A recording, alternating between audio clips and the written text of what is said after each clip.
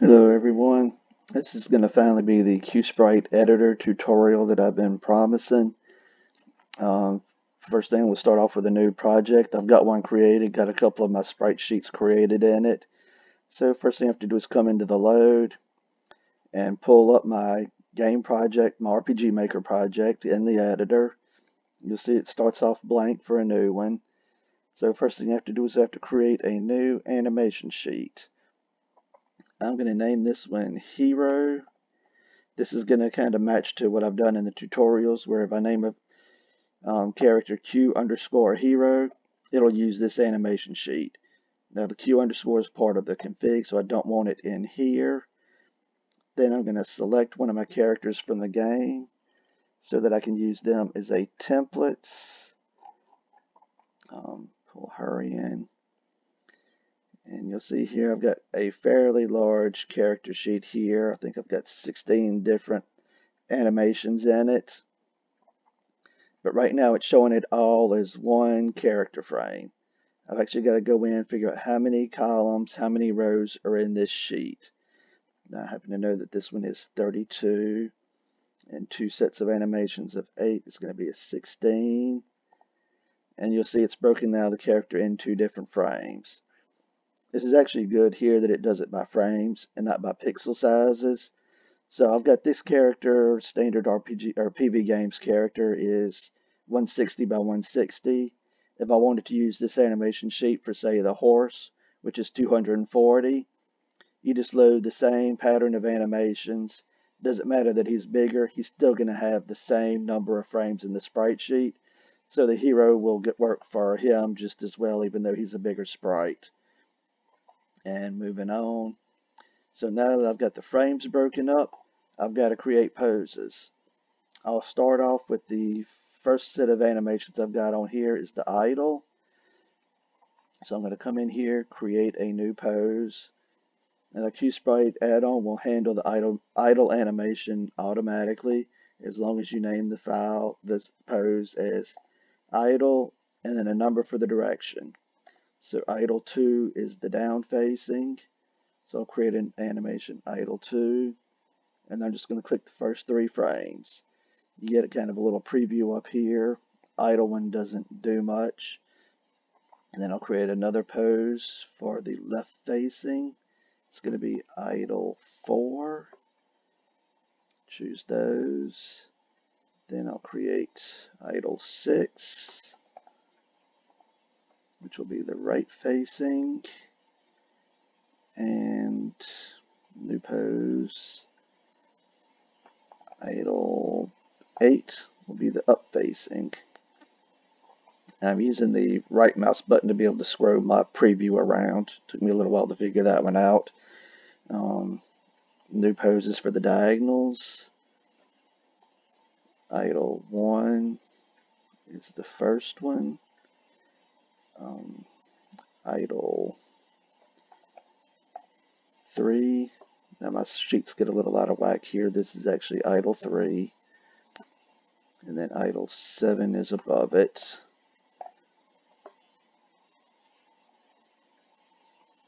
And then I have idle 9. If you have trouble remembering which direction is which number, all you do is look at the number pad on your keyboard. So your keyboard set up um, 1, 2, 3, 4, 5, 6, 7, 8, 9. That's the directions that you'll be facing on there. So idle 1, idle 3, no, that's idle 4, idle 7, idle 9, like that. So makes it easy to figure out which numbers if you lose track. And then I've got some other animations in here, but I want to move on to the other ones that the game uses automatically. I'm going to scroll out a little bit. Now I'll do my movement animation. So when the character is moving at a basic speed, you use move. Again, it'll handle this automatically. So I just do one, two, three, four, five, six, seven, eight frames for the move animation. And you'll see she starts walking. Now on these, you might want to make her walk a little bit faster. Okay, That's stepping a little too much. Maybe we'll say 8. A lot of this is personal preference. If you want her to move slower, I can move her at 15. Now her steps get a lot slower. For now, I'm just going to leave them at the default of 10 and create the rest of my movements. Move 4. It's starting here. Two, three, four, five, six, seven, eight. Then we'll do move 6.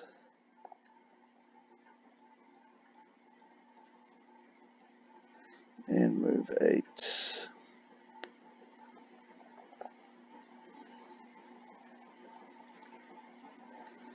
Now I'm not going to go through all of them because it takes a while to create all of these animations. This just gives you the idea.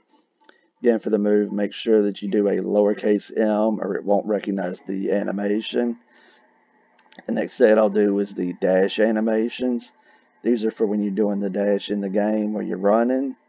So we'll do a new, create a dash 2. Yeah, one, two, three, four, five, six, seven, 8. And that one's looking a little too slow. We need to speed it up. Now she looks a little bit more like she's actually dashing. So I think that's good. So I'm going to create new dash 4.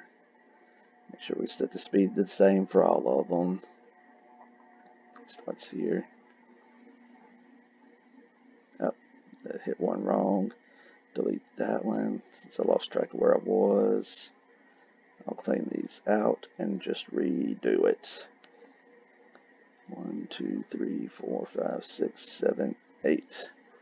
And again, I'm not going to go through every animation because it takes forever. There is a lot of work to setting this up, but it is worth it. Now I'm going to do the kneeling animations. Now once you start using all these others, you'll have to use plug-in commands to activate the animations. So I'm just going to call this one kneel. It's only a two frame animation. Yeah, that's a kneel two because it's front facing. Don't forget that part. So since she starts at idle, I didn't really feel like I needed the first standing animation. I just go straight into the kneel. But I also create an unkneel. So instead of popping from kneeling back to standing straight up, she will actually do an unkneel.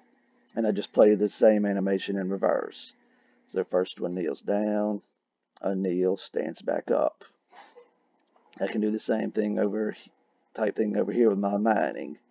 So I do a new, we'll call this mine 2. And I start raise, oh, wrong one. It actually starts here, lifts it, swings down, and then brings it back up. And then you'll end up, if you want to replay the animation again, it'll come back to here and start the loop again. So instead of just popping back to the end, it actually raises back. So you can do a lot more than just playing the animation straight through. Now I'm not going to go any further with this one. Hero sprite sheets, like I said, had a lot of images in them. Most NPCs, monsters, you need idle, walk, maybe need a little behavior.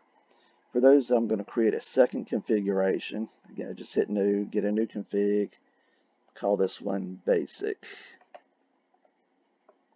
And so when I choose my character, I'll choose one of my enemy characters. It's a, um,